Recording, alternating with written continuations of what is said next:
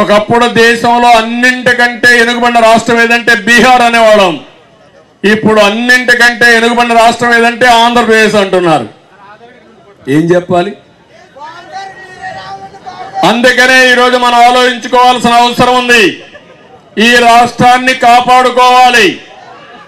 గాడి తప్పిన పరిపాలన రాష్ట్రాన్ని ఘాట్లో పెట్టాలి. మళ్ళీ ఈ రాష్ట్రాన్ని అగ్రస్థానంలో చేసే బాధ్యత తెలుగుదేశం పార్టీ తీసుకుంటాం. దీనికి సహకరించే బాధ్యత ఐదు కోట్ల ప్రజానీకం తీసుకోవాల్సిన అవసరం ఉంది.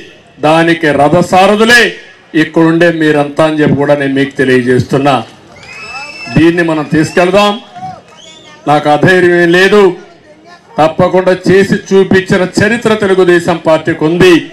మళ్ళీ చేసి చూపిద్దామని చెప్పి కూడా నేను మీకు తెలియజేసుకుంటూ అందరి కన్నీళ్ళుగా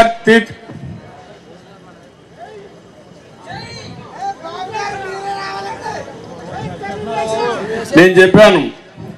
మళ్ళీ నేను వస్తేనే ఉద్యోగాలు వచ్చేది. నేను వస్తేనే యువతకు భవిష్యత్తు ఉద్యోగాలే కాదు వాళ్ళ ఎంపవర్మెంట్ కూడా వాళ్ళ అవకాశాలు కూడా. తెలుగుదేశం పార్టీ రాకపోతే జే బ్రాండ్ లిక్కర్ ఉంది. ఒక పెగ్గేసుకోవడం గంజాయి. ఎక్కడ చూసినా ఇప్పుడు రాజమండ్రి కాకినాడకు పోతే ఎక్కడ కూడా షాపుల్లో సిగరెట్లు దొరకవు కానీ గంజాయి దొరుకుతా ఉంది. అవునా కాదా? గంజాయి దొరుకుతా ఉందా లేదా? నా భయం అంతా కూడా అది. కడవన్నీ కంట్రోల్ చేయగలుగుతాను కానీ గంజాయికి అలవాటు పడిన వాడిని ఏం చేయాలో నాకైతే అర్థం కాల. ఎట్లా మార్చాలో కూడా తెలియదు నాకు. దానికి కూడా ఏదైనా ఆలోచించాలి. అంటే ఒక బాధ్యత.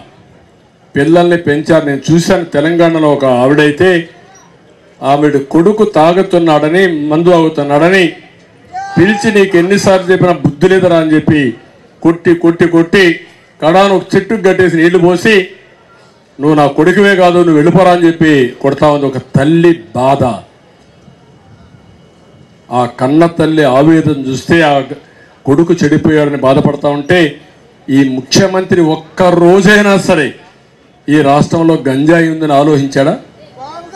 ఆయన ఇంటి ముందర ఒక అమ్మాయి గుడ్డి అమ్మాయి మైనర బాలిక మద్యం దాగి మద్యం మత్తులో గంజాయి సేవించి ఆ అమ్మాయిని కిరాతకంగా చంపేస్తే ఒక్క రివ్యూ చేయలేని అసమర్థ ముఖ్యమంత్రి జగన్మోహన్ రెడ్డి అని చెప్పి కూడా నేను మీకు తెలియజేస్తున్నా.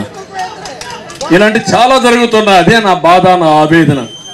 ముఖ్యమంత్రి అనేవాడు బై ఎగ్జాంపుల్ ఉండాలి. ఒక సంఘటన జరిగితే ఆ సంఘటన పైన స్పందించాలి. సంఘటన జరిగిందని దాచిపెట్టుకోవడం కాదు. దాచిపెట్టుకుంటే వంద జరుగుతాయి. ఆ సంఘటన పైన కానీ గట్టిగా ముఖ్యమంత్రి వచ్చి ఒక ఐరన్ హ్యాండ్తో డీల్ చేస్తే చేసేవాళ్ళు భయపడతారు. ఇప్-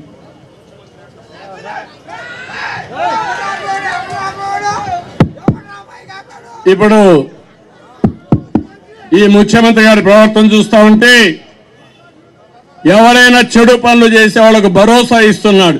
మీరు చేయండి మీరు దోచుకోండి మీరు హత్యలు చేయండి అరాచకాలు చేయండి. నేనేం పట్టించుకోనని చెప్పే పరిస్థితికి వచ్చాడు. అందుకే మన మీద బాధ్యత ఉందని చెప్పి చెప్తే ఇంకా మిమ్మల్ని అందరం చూస్తా ఉంటే ఇక్కడే ఉండిపోవాలనిపిస్తా ఉంది కానీ ఎమోషన్ కూడా ఉంది. ఎమోషన్ ఒక రోజులో సమస్య పరిష్కారం అయ్యేది కాదు. మనందరం కలిసి సమిష్టిగా ముందుకు పోవాల్సిన అవసరం ఉంది. ఇప్పుడు నేను చెప్పినంత మీకు అర్థమైంది అనుకుంటాను చంద్రబాబు చాలా మంది నక్సలైట్లను కావాల్సుకొని ఎన్కౌంటర్ చేయించిండు ఈ ఆల్రెడీ రాజ్యాల్లో ఉన్నాడు ఆయన. మరి ఆతుపాయకుంటే నీ మీద పెడతారు కదా ఆయన. బిల్లు తక్క అని చెప్పి మొత్తం నరికేశారు. కేసీఆర్ ఢీ కొనగలుగుతామని ఒక నమ్మకం ఉన్న దగ్గర. కేసీఆర్ ఒక మాంత్రికుడు అండి. సేవ్ యువర్ సెల్ఫ్ బీజేపీకి వచ్చారంటారా? ఒక రకంగా.